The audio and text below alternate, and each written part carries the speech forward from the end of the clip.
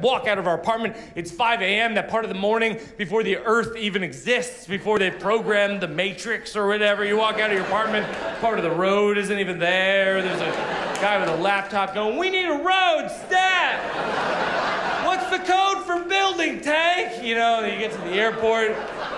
The news hasn't even started yet. It's just an anchor looking around like, what are you up to? And I get to the kiosk